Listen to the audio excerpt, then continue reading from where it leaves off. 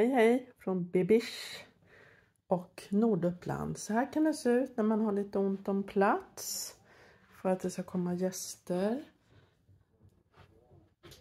Då blir det så småningom ett långbord. Jag har förberett lite här. Lite snacks och fika.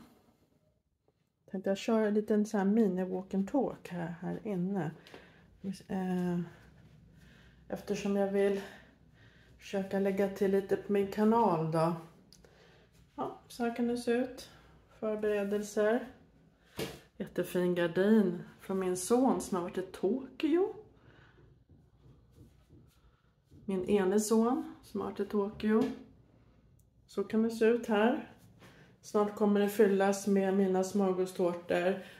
Och på min kanal, eller i min kanal på Youtube så kommer det att läggas till bilder på mina smörgåstårtealster.